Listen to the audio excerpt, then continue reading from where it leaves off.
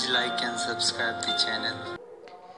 Hello guys, uh, good morning, welcome back. Uh, this is Raj Kamal and uh, today I am going to discuss the topic uh, electrical measurement and uh, terms related to their questions mainly and uh, this is the questions number one पहला ही question आपको पूछा गया। सबसे पहले मैं mention कर दूँ कि ये जो स्पेशली मैं अभी कुछ दिन ये सॉल्यूशन दूँगा, वो स्पेशली एएलपी के लिए है असिस्टेंट लोकल पायलट के लिए, जो कि टेक्नीशियन को भी कंसिस्ट करता है।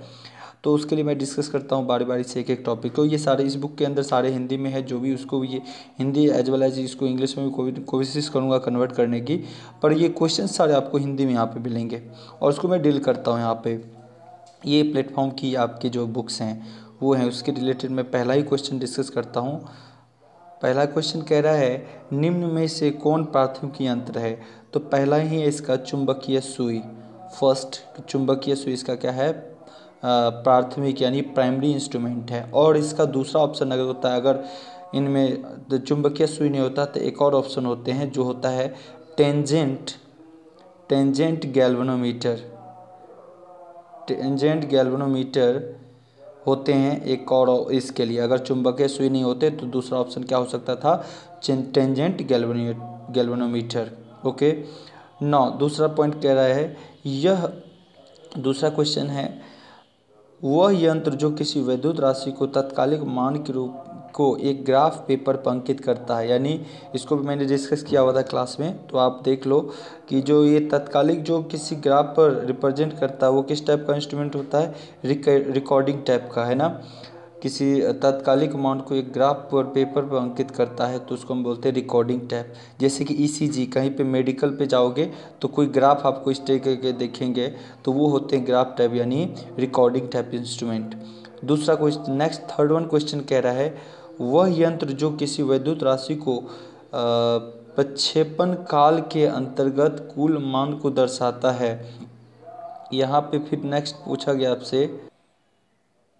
तो वह यंत्र जो इंटीग्रेटिंग टाइप का हम बोल सकते हैं कि टोटल मान को जो ऐड करता है, वो इंटीग्रेटिंग टाइप का इंस्ट्रूमेंट कहलाता है। इसीलिए थर्ड का आंसर होगा इंटीग्रेटिंग मतलब जो सबका जोड़ता है, कल का, आज का यानी पूरे रेटिंग को ऐड करता है, जैसे कि इसका बेस्ट सुटेबल एग्ज़ाम्पल होता है हमारा एनर्जी मीटर नेक्स्ट है, विद्युत मापक यंत्र धारा के डाइस पर कार्य करता है। तो यहाँ पे उष्मीय प्रभाव आप देखें, चुंबकीय प्रभाव और लाइट हीटिंग इफ़ेक्ट यानी प्रकाशीय प्रभाव पर भी काम करता है। तो यहाँ पे ऑप्शन होंगे, सारे पे इफ़ेक्ट पड़ते हैं इसके। नेक्स्ट फिफ्थ का कह रहा है, किसी विद्युत प्रभाव से किसी विद्युत राशि को मापने के लिए यंत्र में जो युक्ति लगी होती है उसे डैश कहते हैं। तो इसको हम इससे रिलेट नहीं करेंगे। तो यहाँ इस क्वेश्चन के लिए थोड़े आ, क्या एक्चुअल में हिंदी को इंग्लिश बोला गया है तो ज़्यादा कन्फर्मेशन नहीं मिलती बट इसका आप लोगों को ध्यान रहे कि इसका ऑप्शन जो है सेंसर गिवन है। मैं इसको इंग्लिश में चूँकि ट्रांसलेट नहीं कर पा रहा हूँ कि ये क्या बोल रहा है हिंदी में। तो इसके लिए आपको आपको अगर डायरेक्ट याद रखना है तो इसके ऑप्शन सेंसर हैं। है ना? तो इसको आप सेंसिंग हालाँकि सेंसरिंग एलिमेंट का यूज़ हम आ, रिले के अंदर करते हैं जो सर्किट ब्रेकर के लिए ऑपरेट होता है तो वहाँ पे इस चीज़ों का हम ऑपरेशन करते हैं। तो वहाँ पे सेंसर का एप्लीकेशन पर यहाँ किस उद्देश्य से बोला गया हिंदी में इसको मैं क्लियर नहीं कर पा रहा हूँ। ओके नेक्स्ट टॉपिक है सूचक को शून्य की स्थिति से विक्षेपित करने के लिए डैश की आवश्यकता होती है। ऑब्वियसली किसी सूचक को यानी इंस्ट्रूमेंट को शून्य की स्थिति से विक्षेपित करने के लिए डिफ्लेक्टिंग टॉर्क की ज़रूरत होती है जिसको विक्षेपक टॉर्क बोला गया है। नेक्स्ट पॉइंट है नियंत्रित टॉर्क विक्षेपण टॉर्क के। ऑब्वियसली नियंत्रित टॉर्क जो है सपोज़ दैट आप ये देखें ये आपका आ, इसका स्केल है और ये कोई पॉइंटर है तो अगर डिफ्लेक्टिंग टॉर्क इसका टी डी है तो इसको अपोज हमेशा कौन करता है? कंट्रोलिंग टॉर्क तो इसके रिगार्डिंग जो वैल्यू होते हैं हमेशा वो अपोज ही करेगा। तो यानी सूचक की स्थिति को विक्षेपित करने के लिए आवश्यक स्थिति कौन सी होती है? विच्छ के लिए डैश की आवश्यकता होती है। ओके तो मैं सेवन नंबर पे था। नियंत्रण टॉक विक्षेपक टॉक का क्या करता है? विरोध करता है हमेशा। अब जब भी देखें कि ये क्या करता है? एक दूसरे का विरोध करता है। यानी यहाँ पे ऑप्शन होगा ठीक मैंने डिस्कस करा था इस चीज़ को कि ये रहा इसका पॉइंटर ये रहा इसका स्केल अगर डिफ्लेक्टिंग टॉर्क इस डायरेक्शन में जा रहा है विक्षेपक टॉर्क तो इसके कंट्रोलिंग टॉर्क जस्ट क्या होता है? इसके रिवर्स में होता है। और ध्यान रहे डिफ्लेक्टिंग टॉर्क जिस तरीके से आगे बढ़ता है कंट्रोलिंग टॉर्क भी उसी के प्रोपोर्शनल बढ़ता जाता है, क्योंकि वो उसको अपोज करता है। यानी कंट्रोलिंग टॉर्क के लिए हम क्या यूज़ करते हैं? जैसे चाहे तो स्प्रिंग या ग्रेविटेशनल इंस्ट्रूमेंट जैसे कि ग्रेविटेशनल के तो वेट हम यूज़ करते हैं। दो तरीके से कंट्रोल किए जा सकते हैं इसको। नेक्स्ट है आपका मूविंग आयरन यंत्र में स्थिर रहता है। ओबियसली हमने इस चीज़ को डिस्कस किया था कि मूविंग आयरन यंत्र जो है, इसमें क्वाइल हम फिक्स रखते हैं, ये देखें। क्वाइल हमारा फिक्स है और इन दोनों के पोलैरिटी के क्रॉस हम क्या करते हैं? सप्लाई देते चाहे वो एसी हो या डीसी और इंस्ट्रूमेंट हमारा इस तरीके से रहता है, इससे पॉइंटर अटैच होता है। अगर इससे अटैच होता है तो हम देखते हैं कि it's try to very low reluctance path तो फ्लक्स का एयर गैप इस रास्ते से ज़्यादा होता है। तो फ्लक्स इस कोर को, इस आयरन के कोर को खींच के ऊपर, इधर ऊपर टॉर्क करता है, इसके नीचे, और इसको एक, इस कोर आयरन कोर को यहाँ से इस रास्ते से देता है, और अपने पथ पाथ को आसानी से फ्लक्स प्रो कर लेता है फ्लक्स यहाँ से इस रास्ते से और इस रास्ते से, यानी मीडियम ये बनता है इसके लिए इस आयरन कोर तो हम यहाँ बोलते हैं जो टॉर्क प्रोड्यूस होता है वो आयरन पे होता है तो यहाँ पे भी जो आपका फ्लक्स है वो क्या होता है? फिक्स होता है। तो इसका ऑप्शन क्या होगा? मूविंग आयरन मूविंग आयरन में स्थिर रहता है। कौन स्थिर रहता है? तो कोयल आपके स्थिर रहते हैं। नेक्स्ट पॉइंट देखिए आप। निम्न में किसकी शुद्धता और विश्वसनीयता अधिक होती है? तो इन, यानी मूविंग आयरन की आप ये मूविंग क्या बोला गया क्वेश्चन किस पे था? हाँ नाइन में। निम्न में, किसकी शुद्धता और विशेषता अधिक होती है? तो सबसे ज़्यादा जो हमारे शुद्धता और विश्वसनीयता बोला जाए? तो मूविंग क्वाइल यानी पीएमएमसी होते हैं। ये रहा पीएमएमसी मूविंग क्वाइल है ना? लेकिन इसके लिमिटेशन भी है कि ये सिर्फ़ किस पे काम करता है? डीसी पे। एसी पे काम नहीं करता। नेक्स्ट है क्वेश्चन हमारा गैल्वेनोमीटर को आमीटर में बदलने के लिए। जोड़ते हैं। मान लीजिए आपका कोई गैल्वेनोमीटर है सॉरी कोई गैल्वेनोमीटर है, उसको एमीटर में कन्वर्ट करना है तो एमीटर में कन्वर्ट करने के लिए हम क्या करते हैं? एक संट में स्मॉल वैल्यू का रेजिस्टेंस ऐड करते हैं, जिसका अर्थ का रेजिस्टेंस का मान बहुत कम होता है, ताकि ये क्या करे? बाईपास कर दे इस करंट को। तो यहाँ पे मल्टीप्लाइंग फैक्टर का भी एप्लीकेशन होता है, जिसको मैं तो यहाँ पे डिस्कस नहीं करना, ना ये चीज़ पूछ रहे हैं। तो ये ध्यान रहे, आपको बहुत कम वैल्यू का रेजिस्टेंस संट में लगा दिए जाते हैं। तो नेक्स्ट ऑप्शन क्या है इसका क्वेश्चन का? गैल्वेनोमीटर को आमीटर में बदलने के लिए जोड़ते हैं। बहुत ही कम धारा को उसके समानांतर में जोड़ते हैं, यानी निम्न प्रतिरोध को समांतर में जोड़ते हैं। तो हमारा आंसर हो जाएगा इसका सी नेक्स्ट क्वेश्चन देखें इसका। बोला गया है कि गैल्वेनोमीटर को वोल्टमीटर में बदलने के लिए जोड़ते हैं, यानी कोई गैल्वेनोमीटर है हमारा, उसको वोल्टमीटर में जोड़ना है। तो हमको पता है वोल्टमीटर जो कोई भी होता है, ये तो किसी लोड के क्रॉस पैरेलल में कनेक्ट होते हैं। तो लोड के क्रॉस पैरेलल में कनेक्ट होते हैं तो ये हमारा गैल्वेनोमीटर है। अगर इसको पैरेलल में करूँ तो करंट जो यहाँ लोड के क्रॉस जाना था, ये इस गैल्वेनोमीटर होके ना गुजरे, क्योंकि हम जानते हैं वोल्टमीटर का इंटरनल रेजिस्टेंस क्या होना चाहिए? बहुत ज़्यादा। तो इस कंडीशन में इस, कोई करंट इस रास्ते से ना गुजरे, इसके लिए हम क्या करेंगे? इसकी सीरीज़ में इनफाइनाइट रेजिस्ट बहुत हेवी रेजिस्टेंस इसके वोल्टमीटर के सीरीज़ में यूज़ करेंगे। यानी जो एलेवन का ऑप्शन होगा, उसमें सीरीज़ रेजिस्टेंस को निम्न क्या कह सकते हैं? सीरीज़ रेजिस्टेंस को मतलब उसकी सीरीज़ में बहुत हाई रेजिस्टेंस ऐड करना पड़ेगा। यानी इसमें ऑप्शन है निम्न प्रतिरोध श्रेणी में जोड़ेंगे नहीं उच्च प्रतिरोध को श्रेणी में जोड़ेंगे तो बेस्ट ऑप्शन हमारे लिए बी ओके नेक्स्ट देख नेक्स्ट क्वेश्चन है आपके लिए एसी की शक्ति मापी जाती है। ओबियसली एसी की शक्ति जब भी आप मापते हो पावर एसी का तो आप यूज़ करते हो V I cos phi V I cos phi यानी ये कॉस फाइव क्या है आपका? एक पावर फैक्टर है। पावर फैक्टर, जो कि हमेशा या तो इंडक्टिव या कैपेसिटिव सर्किट इन्वॉल्व होने के कारण प्रोड्यूस होते हैं। यही डीसी में आप जो यूज़ करते हो वर्ड डीसी के पावर के लिए सिर्फ़ V I V I use करते हो, जबकि एसी के लिए, जबकि एसी पावर के लिए क्या यूज़ करते हैं आप? वी आई कॉस फाइव जहाँ पे कॉस फाइव पावर फैक्टर है। कॉस पे हमारा क्या है? पावर फैक्टर जबकि डीसी में कोई पावर फैक्टर नहीं होता। क्यों? क्योंकि डीसी हम जानते हैं, क्योंकि सबसे पहले आपको जानना पड़ेगा पावर फैक्टर क्या होता है। पावर फैक्टर ऑलवेज इंट्रोड्यूस यानी जो होते हैं वो इंडक्टिव और कैपेसिटिव लोड के कारण होता है। और हम जानते हैं डीसी में इंडक्टिव और कैपेसिटिव यानी एक्स एल और एक्स सी क्योंकि इसकी फ्रीक्वेंसी नहीं होती डीसी की फ्रीक्वेंसी डीसी की फ्रीक्वेंसी देखें तो क्या होता है? ज़ीरो डीसी की फ्रीक्वेंसी क्या होता है? ज़ीरो तो इसका एक्सएल इंडक्टर का रिएक्टेंस क्या होता है? टू पाई एफ़ एल यानी फ्रीक्वेंसी ज़ीरो ज़ीरो तो ये वैल्यू एक्सएल ज़ीरो ये एक्सएल क्या हो गया? ज़ीरो लेकिन कैपेसिटर की बात करूँ एक्सी की तो फ्रीक्वेंसी ज़ीरो होने के कारण डीसी में क्या होता है? One by two pi F C frequency zero तो रिएक्टेंस क्या होता है? इन्फानाइट यानी करंट का इसमें कहीं तो करंट को ब्लॉक कर दे रहा है करंट को पास नहीं करने देता डीसी कैपेसिटर की कंडीशन में तो हम बोल सकते हैं कैपेसिटर और लेकिन इंडक्टर की बात करूँ तो वहाँ पर करंट शॉर्ट सर्किट जैसा बिहेव करता है इंडक्टर में डीसी एप्लीकेशन से। इसलिए पावर फैक्टर का रोल डीसी के अंदर नहीं होता, जबकि एसी में हम यूज़ करते हैं, क्योंकि उसमें लीडिंग लैगिंग होता है, जो फ़ेज़ होता है, उस फ़ेज़ को कॉस के साथ हम मल्टीप्लाई करते हैं तो बोलते हैं पावर फैक्टर है हमारा। तो ये टर्म होते हैं, यानी बारह का आंसर क्या हो जाएगा हमारा?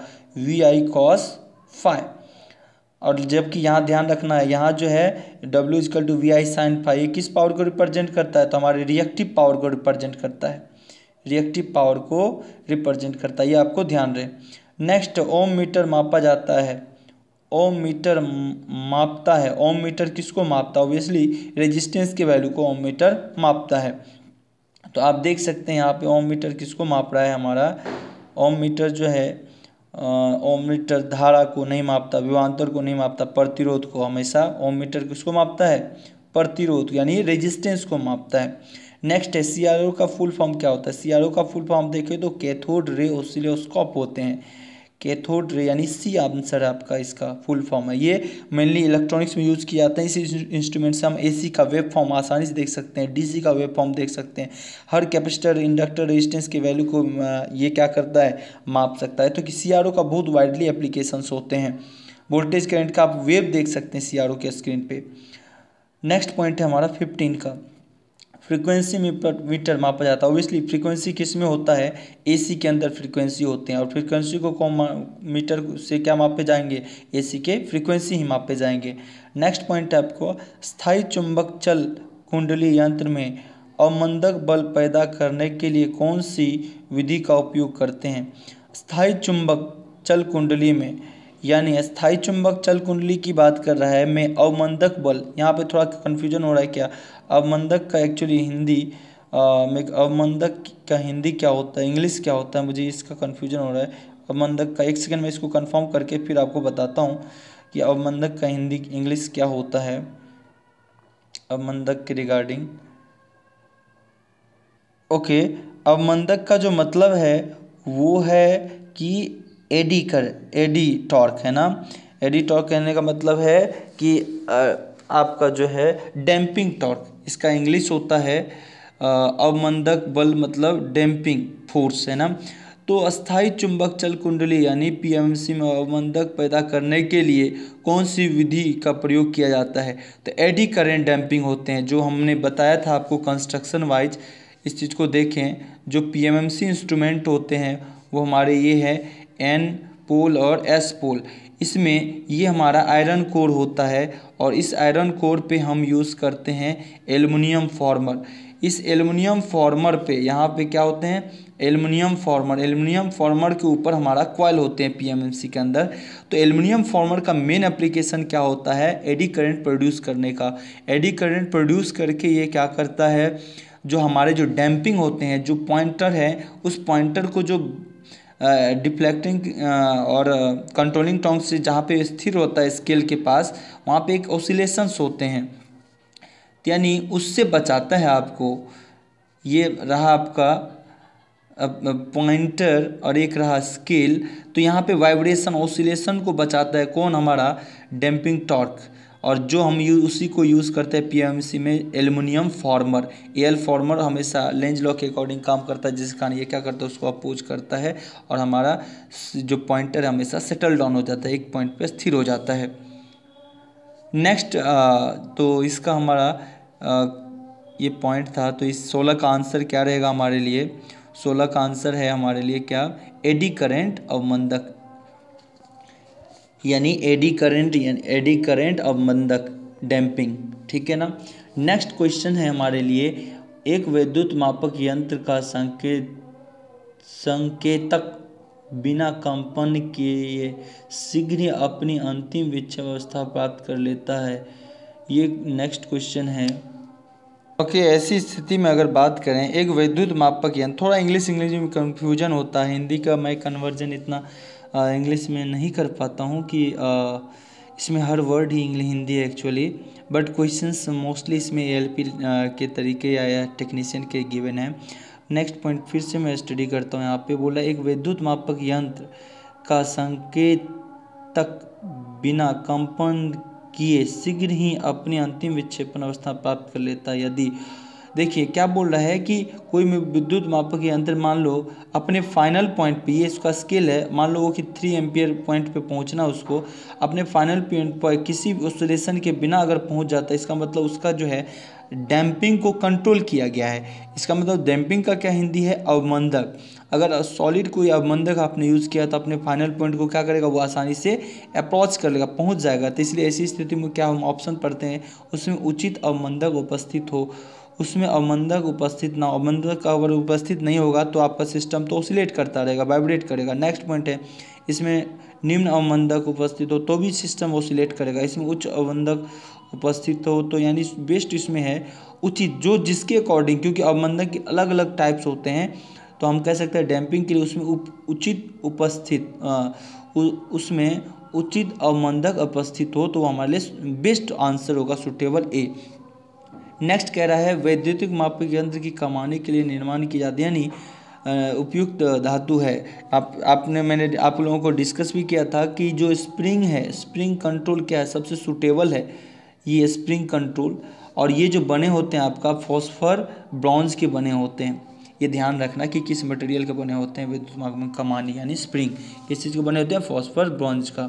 नेक्स्ट है, किसी वैद्युतिक मापक यंत्र के सचल भाग पर कार्यरत घुमाव बल। देखें, किसी विद्युत मापक यंत्र के सचल या सचल भाग पर कार्यरत घुमाव बल है। यानी कोई इंस्ट्रूमेंट है और वो अपने फाइनल पॉइंट पे, जहाँ तक मैं अंडरस्टैंड कर पा रहा हूँ कि ये जो बोल रहा है, किसी विद्युत मापक यंत्र के सचल भाग पर कार्यरत घुमाव बल जो अपने पॉइंट पे पहुँचता है, उसमें कौन कौन से बल लगते हैं? तो विक्षेपक यानी डिफ्लेक्टिंग टॉर्क लगते हैं। नेक्स्ट है, नियंत्रण घुमाव बल यानी डिफ्लेक्टिंग टॉर्क भी लग, कंट्रोलिंग टॉर्क भी लगते हैं और डैम्पिंग टॉर्क यानी तीनों टॉर्क लगते हैं। तो ये ऑप्शन है इसका सी डी सॉरी सभी टॉर्क, यानी तीनों टॉर्क लगता है, तभी अपने फाइनल पॉइंट पे कोई भी पॉइंटर पहुँच पाता है किसी सर्टेन वैल्यू को रीड करने के लिए। ओके नेक्स्ट है। यदि चल कुंडली धारा मापी को डीसी परिपथ में संयोजित करके उसके संयोजनों को अंत बदल बदल बदल कर दिया जाए तो यंत्र। यानी, अगर ये कह रहा है कि पीएमएमसी इंस्ट्रूमेंट आप देखें पीएमएमसी इंस्ट्रूमेंट कैसा था? अगर इसकी कंडक्टर इस पे क्या था? हमारा एक कोर था, कोर पे एल्युमिनियम फॉर्मर है, और इस एल्युमिनियम फॉर पे हमारा कंडक्टर लपेटा हुआ था।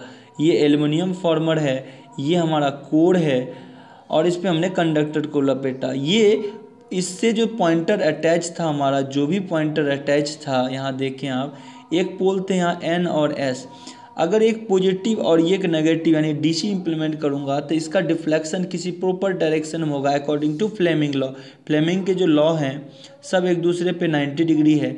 अगर ये एक करेंट को रिप्रेजेंट कर रहा है, एक फ्लक्स को तो नेक्स्ट किसको रिप्रेजेंट करता है? टॉर्क को।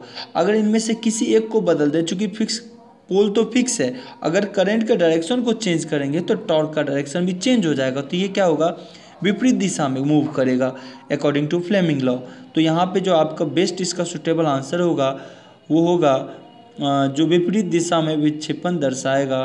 तो यही बेस्ट ऑप्शन है आपके लिए, क्योंकि वो पोल तो फिक्स है अगर पोल भी चेंज करता तो कोई चेंज नहीं होता लेकिन पीएमएमसी में क्या होता है जो चंड कुंडली धारामापी होते हैं उसमें पोल फिक्स है तो किसी आ, ये तीन जो फ्लेमिंग लॉ है उसमें से किसी एक को चेंज करने पे आपका टॉर्क का डायरेक्शन चेंज कर जाता है ये आपको ध्यान रहना चाहिए। अगर दोनों को चेंज करें फ्लक्स और टॉर्क दोनों को चेंज करें सॉरी फ्लक्स और करंट दोनों को चेंज करें तो टॉर्क हमेशा नियत रहता है। तो इसी के लिए इसका बेस्ट आंसर जो होगा आपका वो विपरीत दिशा में विक्षेपक को दर्शाएगा। तो ये हैं आपके टर्म्स इससे रिलेटेड अब तो मैंने पे ट्वेंटी क्वेश्चन डिस्कस किया जो सेवेंटी फोर पेज में है, और बाकी क्वेश्चन पेज बाय पेज में जल्दी ही इसको डिस्कस कर दूँगा, है ना? चूँकि फेस्टिवल का थोड़ा टाइम है तो टाइम इतना नहीं मिल पाता। बाकी मैं कोशिश करूँगा कि आपके लिए जल्दी से जल्दी ये सारे क्वेश्चन को डिस्कस कर सकूँ। Okay guys best of luck happy Diwali फिर भी अगर आपको लगता है कि किसी टॉपिक को क्वेश्चन को डिटेल में उसको डिस्कस करना है तो आप मुझे कमेंट बॉक्स पे कमेंट कर सकते हैं आप लोग। और मैं उसको जल्दी ही कोशिश करूँगा डिस्कस करने की। Okay best of luck